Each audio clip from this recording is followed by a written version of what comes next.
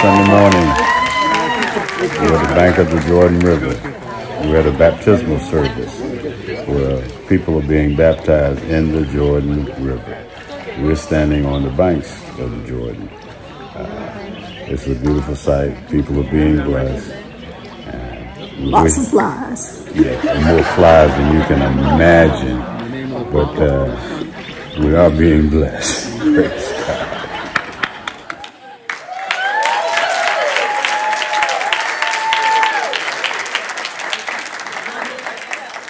So they send their love from Israel, from the banks of the Jordan.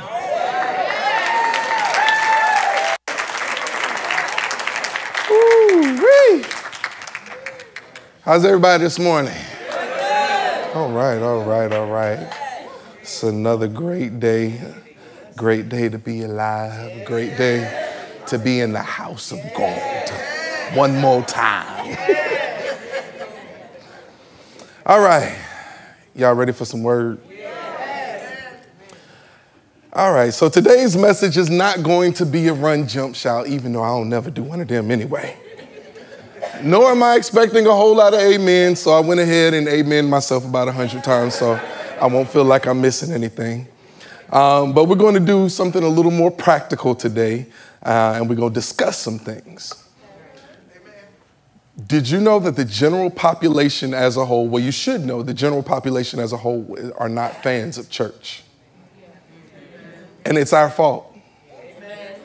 And today, what we want to do is we want to look at the reasons as to why folks aren't coming and then why they have a bad taste in their mouth when it comes to church. Now, today is not a bash church day, okay? Let me go ahead and put that out there. But what we need to do is take a real look and see what, what we're missing and how we can fix it, okay? Um, so if, if it was up to me, and it wasn't up to me, because, you know, I sought counsel before I did, you know, sa- safety in the multitude of counsel, right? But if it was up to me, I'd probably call this church sucks. But I know everybody ain't ready for that.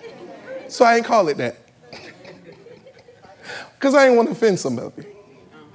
But the reality is that most people's idea of church is that. We know this because we can have record breaking crowds up the road at Dowdy Ficklen Stadium for a football game, sellouts. I think they've had two sellouts this year, right? But then when it comes to Sunday morning and we come to church, sprinkles here and there. And then when we look at New Bern, uh, a lot of those people in that stadium are from New Bern. But we're offering living water and we get handfuls in comparison. And what most people don't realize is that it is our responsibility to know where these people are that we are called to minister. But most churches, most Christians are okay with segregated success. What do you mean by segregated success? We have a million and one churches with 10, 15 people in it. And we happy. As long as our stuff is good. We ain't gonna worry about nothing and nobody else. As long as we can keep the lights on and church is pretty good, we're good. But we have a mandate from God to get involved in the world and what it's doing. And the only way we can do this is if we know what's keeping the world from getting involved with what God is doing. Honestly, there are some things uh, that we've done for years that we've made staples in the church that we got to talk about because they didn't feel like they could talk about it. They, being the world, don't feel like they can come in here and tell us their issues. And um, we're not going to talk about it. So then there's a, a big elephant in the room.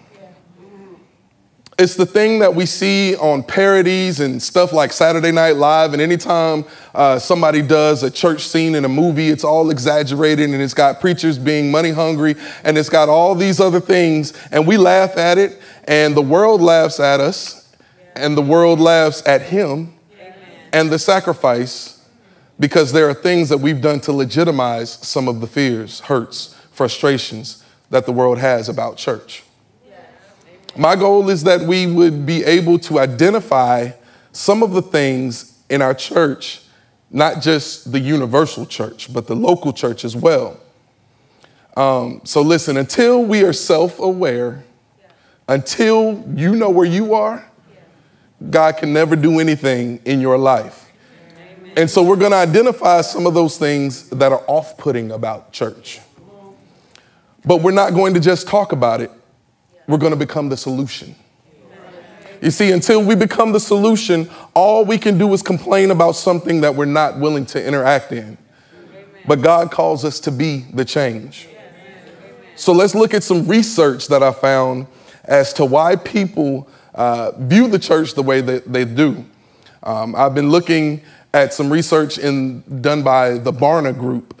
Uh, they do church uh, research for all kinds of Christians in America. And check these uh, statistics out 70% of all churches in America are on the decline. Just to put that into perspective, there are over 150 churches in New Bern. There are about six churches within a four block radius of Dayspring alone. So that means 105 of these churches are losing members, are not being effective, and nobody's coming. They said that only two out of 10, how many millennials we got here? 38 and under, raise your hand. If you're 38 or younger, raise your hand. So here's the thing two out of 10 of y'all think church is important. So that means eight people out of every 10 in your generation do not think church is important at all. 39% say that church is not important because they can find God elsewhere. Listen to this 35% say that church is not personally relevant to their life at all.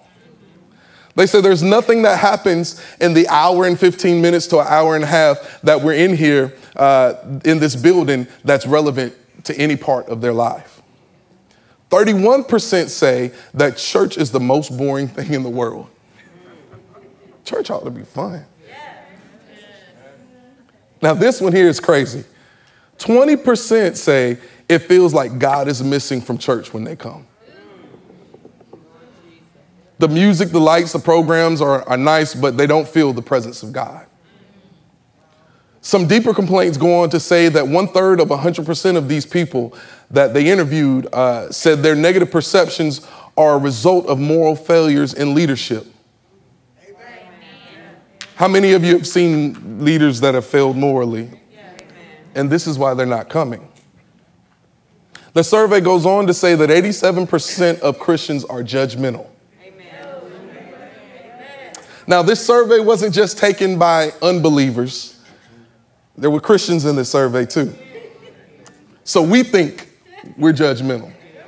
Mm-hmm. 85% are hypocritical. 91% are homophobic. 70% are insensitive to others. So when we look at this, we can't blame people for not wanting to come to church because they have enough stress and drama in their own lives without dealing with the mess that's going on in the church too. So we're gonna we're gonna, we're gonna play a little game. I'm going, uh, first, I'm, I'm to ask you to raise, everybody just raise your hand, okay? Everybody, everybody, put your hand up. Now, here's what I'm to do I'm to read some stuff. And if you've ever had this thought in your life, not just today, but ever had this thought in your life, put your hand down, okay? You had a fear of being judged. Church was boring. This church is full of cliques. Wow. Now, this one's to wipe them all out. Church lasts too long. Oh, we still got a couple hands up. Okay, all right, all right, all right. They only preach about hell and damnation. They only want my money. I've been hurt in church before. I don't trust the pastor. This church is like a cult. We still got a few faithful holding on. They don't preach about Jesus. Oh, see, all hands gone. They go on and says, I hate church folks, but I love God. Church is one big show. They do very little for the community. I don't feel any closer to God after going. No one knows my name. The, they only care about the numbers. It feels like uh, rules and regulations are jail. Uh, they talk down to one another. It's fake. Church sucks. Some of us here in church have these thoughts, and we're talking about those that we should be compelling. Now, this is a survey done with over 100,000 people. And this is what they say about the thing that God created. So now that we know, I believe God has given us a mandate to step into the light and say, this may have been your experience that you've had at some point or another, and it may be reality to you right now. But there's something different that God can do in your life. So, my goal is to show how, along with the body, uh, the, this body of believers, uh, that we can start to change the narrative and what God planned for the local church. So we're going to take a look at Matthew 16, 13. Matthew 16, 13. And while y'all turning to that, I want you to see that God tells us in His Word that we're supposed to go into all the world in Matthew 28 19 and make disciples. And he also tells us in a parable in Luke chapter 14, verse 23, it's called the parable of the great feast. And it says uh, to go out into the country and the highways and byways and in your social circles or areas of influence. And I want you to compel and urge people to come in because I want my house full. So God's talking about the church and how he wants people here, but there's obstacles and things that have happened and we have to figure out what the real intent of church is. And we're going to do that by reversing the narrative of church. And the title of this message today is The Reverse Church. Somebody say, Reverse Church. Now, what we're going to do, we're going to we're going to we're going to uh, take what people think church is, and we're going to turn it around, and we're going to reverse the perception by looking at how God originally started the church. Somebody may have a problem with church, but they can they, if they come in contact with you or with me, uh, they, should see, they should see a difference. Amen. When they come in contact with us, they're going to meet the reverse church. The reverse church of what culture says church is, the reverse church of what has been done in the past, the reverse church of what leaders have done in the past. They're going to run into somebody that f- has found the real meaning that's contrary to culture. That's what Jesus did. He came and interrupted culture. They said it was supposed to be this way, and he reversed it. He said, You thought I was coming to take over Rome. But I'm going to build an empire that's going to last forever, and I don't need Cookie and Lucius to do it. Some of y'all will get that later.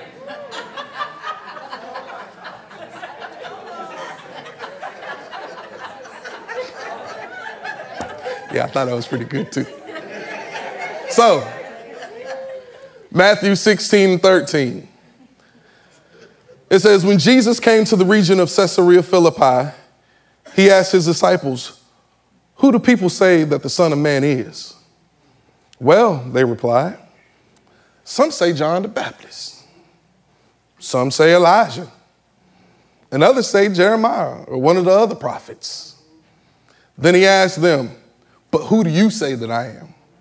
See, I love this because there's always going to be uh, some point in your spiritual journey where God does not care what everybody else is saying. He wants to know what you say about him. Do you believe me? Will you trust me? Can I be, can I be your provider? No matter if the world is tripping and saying whatever, who do you say that I am? So, verse 16 Simon Peter answered, You are the Messiah, the Son of the living God. Jesus replied, You are blessed, uh, Simon, son of John, because my Father in heaven has revealed, to you, revealed this to you. You did, not, you did not learn this from any other human being. Now I say to you that you are Peter, which means rock. And upon this rock I will build my church, and all the powers of hell will not conquer it. verse 19 says, And I will give you the keys of the kingdom of heaven. Whatever you forbid on earth will be forbidden in heaven, and whatever you permit on earth will be permitted in heaven. See, this is where the church is first mentioned in the Bible. And I want to give you four points um, that are going to help you reverse church. If you're going to be the reverse church, you have to focus on the organism, not the organization. If you're going to reverse church, it's not about, well, everybody don't do that and everybody's fine with drinking and everybody's fine with sleeping around. And God said, if you don't get everybody out your mouth. Amen. So, point number one the reverse church is about the organism. Reverse church is about the organism, me, not the organization. So, funny story. Uh, my beloved wife, my dear darling wife, she is a self proclaimed lasagna connoisseur. So we'll go to a steak restaurant that might have lasagna on the menu, and she'll order it. And then if it's not good, this restaurant is terrible. So my thing, you went to a steakhouse and ordered lasagna, and because the lasagna wasn't good, then the steakhouse is terrible. And this has happened more than once. Like, I don't care where we go. If they got lasagna, she's gonna order it. And if it ain't good, she's gonna talk about the restaurant. And as funny as that seems, that's what many people do. They have an experience in a church with an individual, and church is trash. They ain't about nothing at that church when it wasn't the whole church. It was one entity or one organism within the organization. And so the whole organization gets bashed. So this church interviewed some people and, and said, uh, Why don't you go to church? And one guy said, I was hurt very bad at a church when I was young, and I'll never go back again. What he did was he took a person or an organism who hurt him and he projected it on the organization. So now, any organization, anybody that's around it, anybody that claims it, he'll never go close to because of an organism that hurt him. But may I submit to you, if an organism hurts you, betrayed you, did you wrong, it's going to take another organism to come back and restore what God is trying to build his church on. The church was built on one. He didn't call all the disciples. I'm going to just lay this thing out for you. He had 12 disciples. He didn't build a church on them. He didn't call them all together and say, hey, let's have a huddle. Uh, this is what I want to do. I want to build my church on y'all, and I really don't believe uh, that, he, that he would do that. Nobody could, if he did it that way, or the reason he didn't do it that way is because now nobody can take full responsibility when things happen. So he decided to build it on Peter. he said, Peter, come here because you've had a revelation of who I am. Your name is now changed, and I'm going to build my church on you. So, what you trying to say? God wants to build his church through you, not through this building, not through our fellowships or our groups. And we believe in all of that, and all of that is good. But he wants to build his kingdom through you. Somebody say, me. me. Through me. That's why Hebrew tells us that we're supposed to strip off every weight that slows us down. Uh, and that means if you're not running like I'm running, I can't run with you because the church is dependent on me. Somebody say the church is dependent on me. Y'all heard how y'all say that? yeah, the church is dependent on me. Some of y'all are scared to even say it because you don't even want to pray every day. You're scared to say it because you don't know uh, what that commitment looks like. But God thought enough of you to say, I'm not going to make an organizational move, I'm going to make an organism move.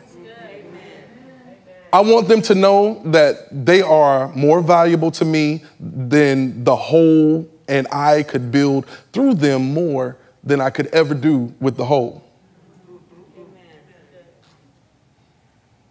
If they would surrender their heart and become the organism that I build the church on, I could change the world.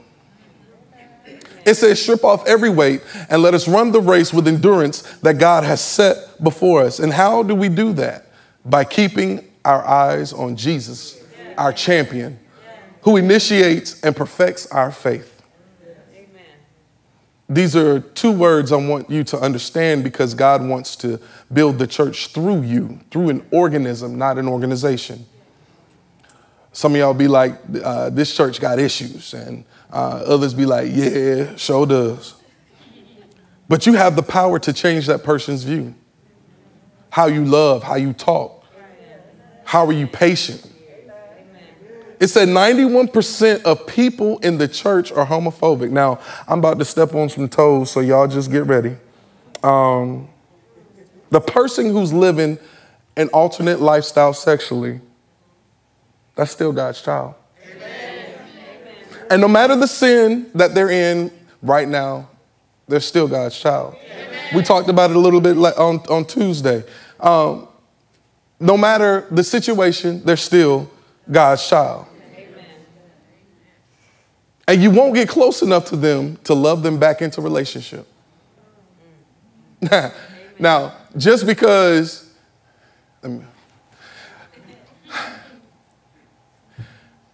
just because you was a hoe in the streets and you got yourself together.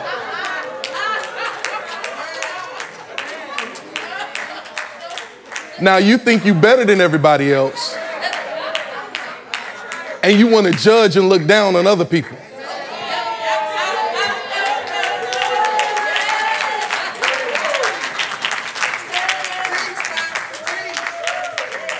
See, the reason why people ain't studying church is because we think that our little white lies, and by the way, there's no such thing, is different than somebody living an alternate lifestyle. And God says, I see sin. And when I see sin, I send my son. When I send my son and you receive my son, then I see you as my, I see my son.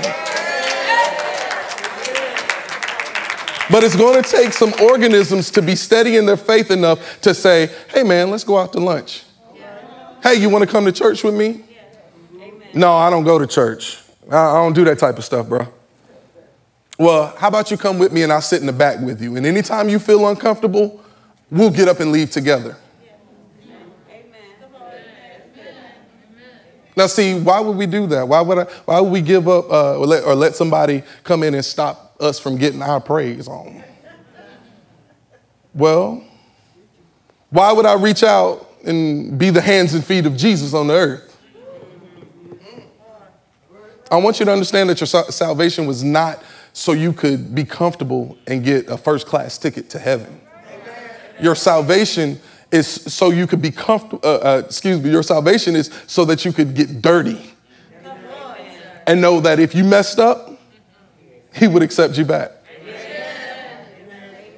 He said, there's nothing that can separate you from the love of God. Not death, not life, not anything that you've uh, ever seen. And, and many of us are sitting here with clean hands talking about, I got the V, I, C, T, O, R, Y, and haven't done anything to engage.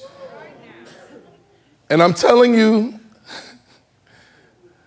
that we're going to have to reverse church. We're going to have to be a church, it's not going to be a church wide outreach. It's going to start with the organisms. We are the organisms, we are the hands and feet. It's going to be you at your job. It's going to be you at your school. It's going to be you at Starbucks every morning when you, when you go in there and, and you intentionally remember the person's name so that at the slightest inkling you can be so smooth with it and slip Jesus in on them. And then follow it up by call me if you need me. If we're going to reverse church, it's going to start with, an, with not with an organization, but with an organism. Until we engage with people, uh, we will sit and just shake our head. What's with these young people? I just can't believe our government. I just can't, I just can't, I just can't.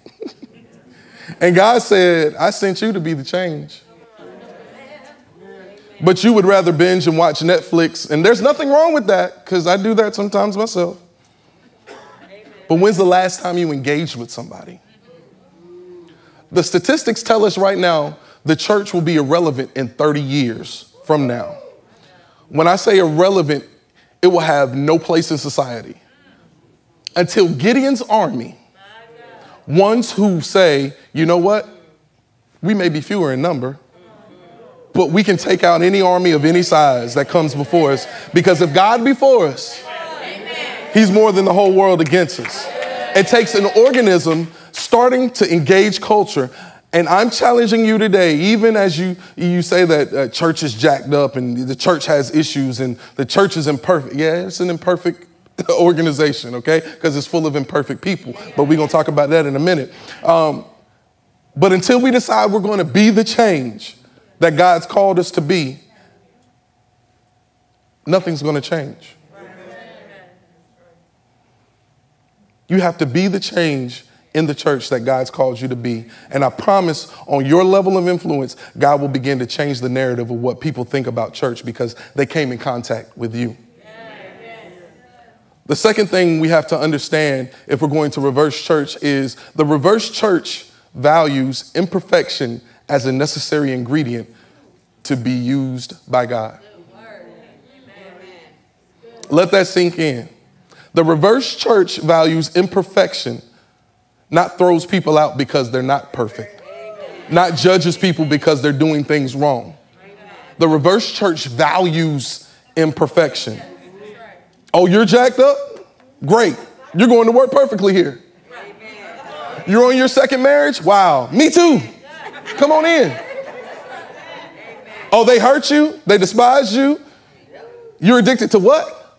Oh, you're self righteous? I was too. See, if we're going to reverse church, the world thinks that if they tell us who they are, now we will reject them. But the reverse church looks at their imperfection as a necessary ingredient to be used by God. And Jesus paints this picture so well by who he chose to build his church on.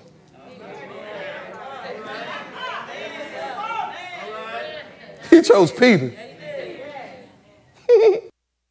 Now, anybody that reads the Bible realizes that Peter was a little suspect. Okay? Like, if I was going to choose to build my church on one of the disciples, it probably would have been John. Um, it literally says he's the one that he loves. He loves you. He understands what I'm saying. But he picked Peter. And I think it was the most strategic thing Jesus could ever done because Peter was the one who didn't have enough faith to stay in the boat. He got out the boat and walked on water. See, most people think that's a miracle that he walked on water. Uh, but the only reason he walked on water is because he didn't believe God would sustain him in the boat. And so he got out and God sustained him on the water. But then he started doubting. and once he started doubting, he started sinking. He's like, man, Peter, come on, get back in the boat.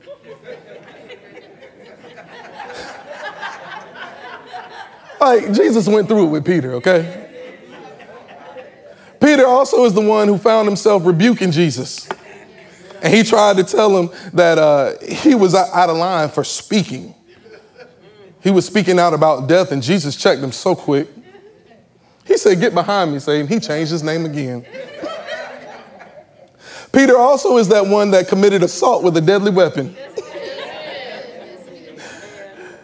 Peter is the, the one who said in Jesus' face, No matter what anybody else does, I'll never deny you. And three times before the rooster crowed, they came back with pictures and say, uh, we, we got photographs of you and Jesus. And Peter said, Nah, that ain't me. Look at that nose. That ain't, that ain't even me. So,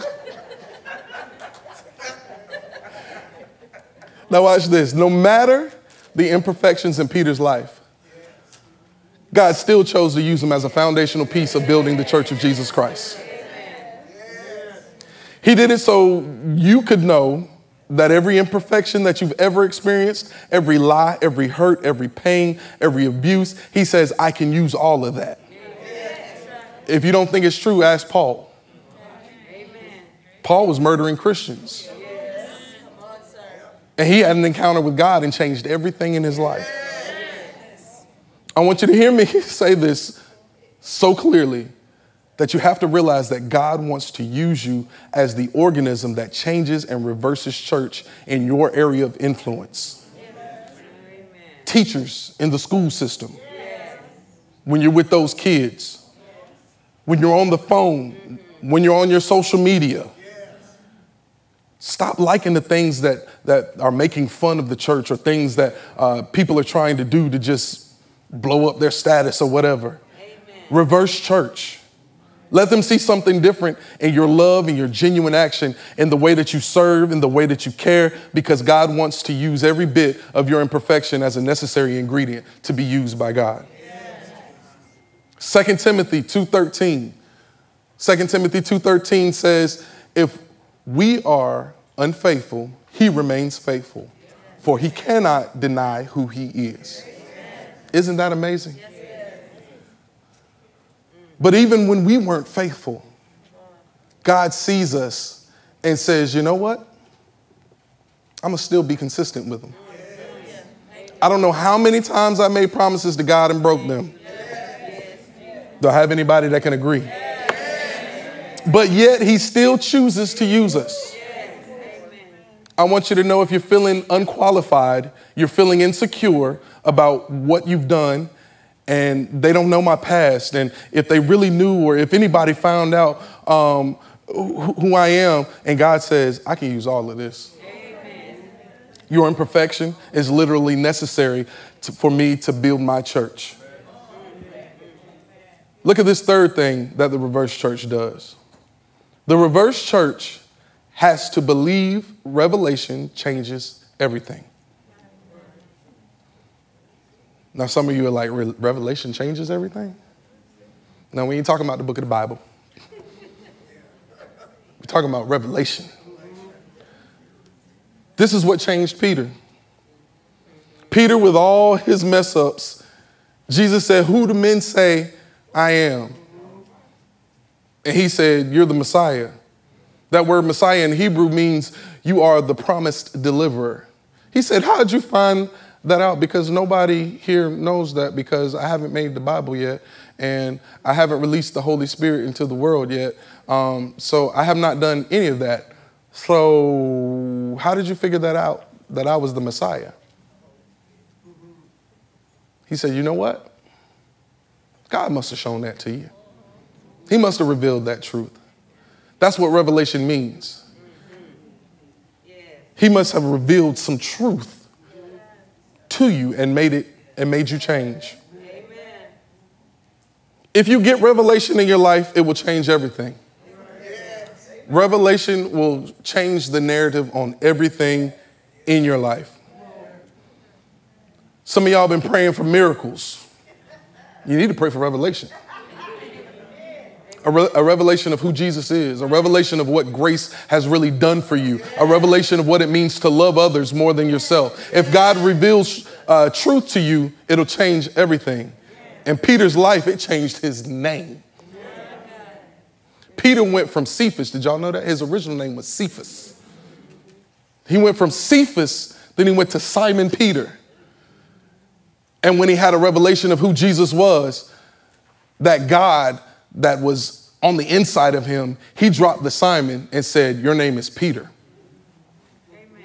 I'm changing your name because that means rock. And upon this rock, I'm going to build my church.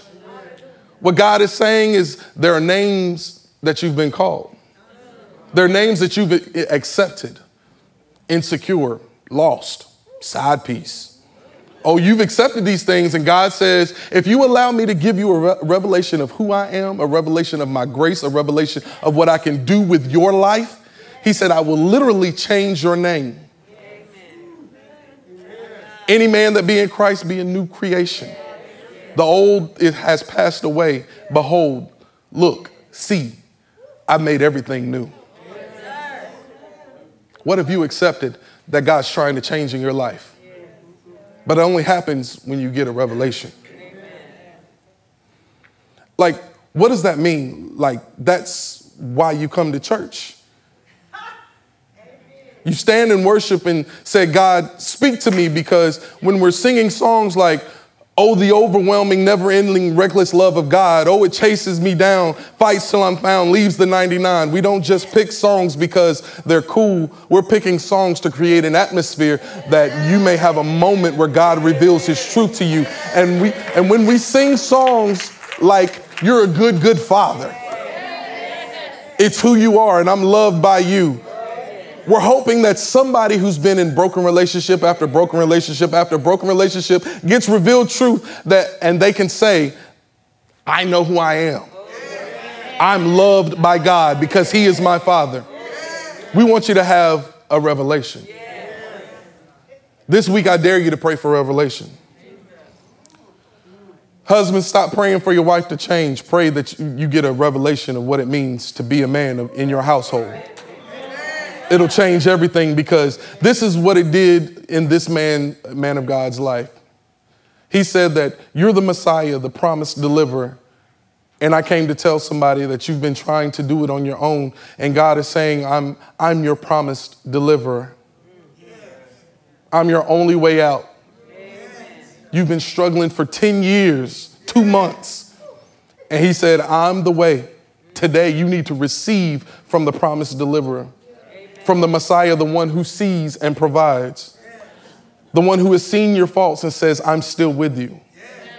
If you get in a place in my presence where I can reveal uh, to you some truth, he said, I'll change your name. I'll change what people think of you. I bet Peter was sitting, uh, sitting there like Jesus. Uh, there's a lot of other disciples here, and uh, whew, you want to use me? And God says, I see through the lens, I see you through the lens of who I created you to be, not through the lens of who you are right now. If we're going to be the reverse church, we have to believe that revelation changes everything. And that's why we come to church every Sunday because we are looking for revelation. When you get revelation, it changes everything in your life. The last thing I want you to see about us becoming a reverse church is that the reverse church cannot be defeated. Amen. Some of us are so scared to be who God's created us to be, to walk in boldness, to be Romans 1:16, unashamed of the gospel of Jesus Christ, for it is the power of God unto salvation.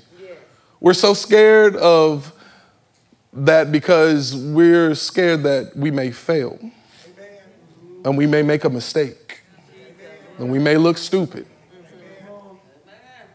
Let me tell you, you will. This is not a perfection calling. This is something for people to understand that I'm not living for myself, that I'm not living in this world so that people can fake like me. I'm not living so everybody can say, well done to me in this temporary state. I'm looking to get a well done in eternity when I stand before him, he's going to look at me and say, You did everything with what I gave you. And I want to say to you, Well done, my good and faithful servant. You led where I put you. You did what I told you. You stewarded well over what I gave you. And you reversed church for hundreds, if not thousands, of people in the area of influence I put you. Listen, I don't care if you're in high school, reverse church. I don't care if you're in the law office, reverse church. I don't care if you're in the gym, reverse church. I don't care if you're in a prayer meeting. Yeah, a prayer meeting, reverse church. Whatever they think church is, show them Jesus. And when you show them Jesus, there's something undeniable about that. Well, well, Pastor C, what are you saying? God said, if there was an impact if I could just find one imperfect person who would say, you know what? These imperfections are so cool. And I don't need a group of people. I'm an organism. And I don't care what the organization is doing. Oh, y'all can't trip with me today. It's, but as for me and my house, we're going to serve the Lord. So if he could find one person that would be an organism that says everything that I've gone through, going to jail, being addicted to drugs, sex, pornography, lying, all that is useful at this moment right now. God, I'm in your presence. Whatever you want me to do, God, whatever you want me to say, as I open the word, give me a revelation. Show me who you are. Watch over me. And again, your, uh, with your grace, change my thinking, change my speech, transform my mind. I will do that. And he says, if you do that, the gates of hell and anything the enemy would try to throw against you will not prevail. What would happen if I knew that as a believer, nothing I did could fail? That, that, that if God gave me a guarantee that if you live for me, nothing the enemy throws at you will ever be able to take you out. How would you live? And the sad narrative is that many of us would live the same way we're living today. I want to challenge you to reverse church in your area of influence. Hear me, you got to understand something so clearly that God is so enthralled with you uh, c- c- completing purpose and doing everything He's created you to do. And that He said, if I made, if I made it a group effort, some of you wouldn't even do it. So I'm going to make this about you. If you take your flaws along with the greater one on the inside, everything you do for me is going to work. And the gates of hell will not prevail. And then it gives you authority. The Bible says, whatever you loose, I'm co signing in heaven. And whatever you stop, you can't have my family. You can't have my children. I will not be in poverty. Whatever you stop on earth, he says, I co sign that too. The problem is that while we're praying for so many miracles because we haven't taken our place as the church, it says we get major keys to the kingdom if we just become the church. We can stop and start stuff and walk in authority God's given us and reverse church. So some people may say, you know, church sucks. And let me give you a quick background of that word sucks, because I know so it's, it's, it, it's a jazz term. Back in the 40s, 30s, 40s, when jazz was really popular, um, if like a horn player was really like playing, like he was just killing it, they used to say, oh, that cat is blowing. And if they weren't so good at what they were doing, they said it sounds like he's sucking wind back through the horn. And of course, as we do everything in American culture, the phrase got shortened to, he sucks. so just in case you were wondering, that's where it comes from. But some people may say, you know, church sucks. But not when they meet you. Now, because they're going to see the love of God. When they meet you, you're going to be in a place where you're saying, God, change my mouth. You're going to be in a process, uh, they're going to cuss you out. And you're going to say, mm-hmm. God bless you.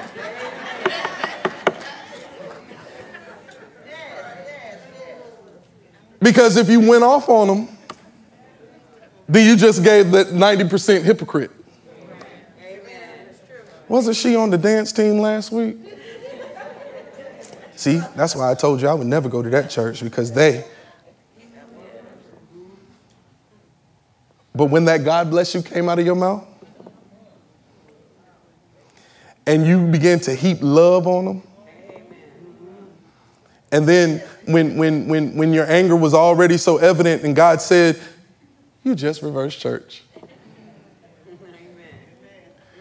When you see the money that dropped, that $20 bill that fell out of somebody's pocket.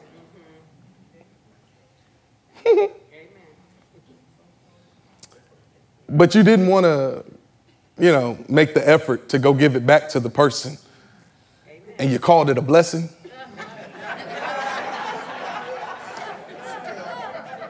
See, y'all want y'all y'all want to play in that like you ain't never did that before. but God's looking for people with integrity.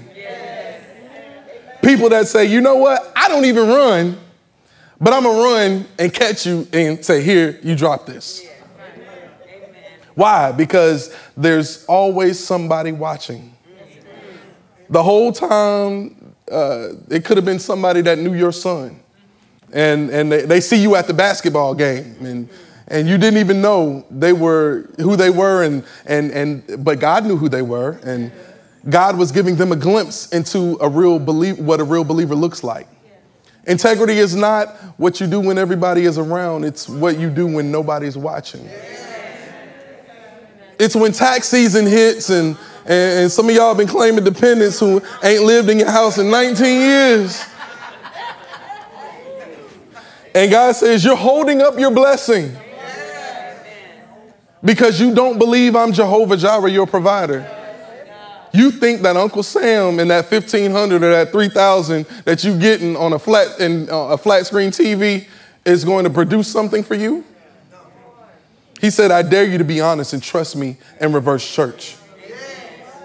The person doing your taxes knows it. They see you and then you invite them to church and they don't say anything and then they graciously decline because they see the battle between right and wrong when they look at your life. So I don't know all the situations, but we all have an area we have to say, God, reverse this. It's about reversing the church. Today, as we stand, I want to pray that no longer when somebody says church sucks or the, the church is full of hypocrites, we will be part of the problem. That in every area of our life, we'll be part of the solution. Let's pray. Father, thank you for these people as we lay the groundwork to what you're doing. God, give us your heart. Let us know that we're an organism just like Peter and that you want to build your church on us. And God, with our imperfections, we know that you can give us a revelation that will change everything about us. That it's not about our perfection, but it's really about our progression. And as we continue to progress in you, your word says that the gates of hell will not prevail against us. God, give us strength to believe you. God, give us wisdom to obey you. And Father, give us the integrity to do the things that are right when nobody's looking. Father, I thank you that you're changing us into the best version of us. And as we submit our lives to you, we believe you, we trust you, we thank you. The church is not a terrible place. because we're the church. The church that will do it how you created it to be done. Reverse church in us. In Jesus' name. Amen. Let's give God some praise this morning.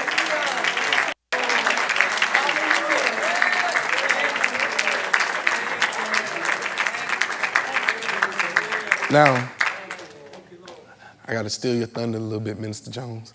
Uh, before we go any further, there might be somebody in the room or watching online that has not yet had the opportunity to accept Christ as your Savior. So you're looking at us like, uh, you want me to reverse church? I ain't even in the church. But we want to extend that opportunity right now. It's as simple as ABC.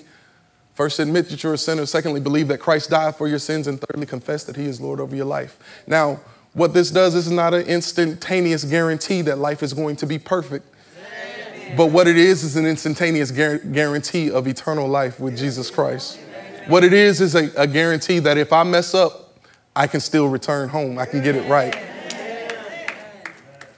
None of us are perfect.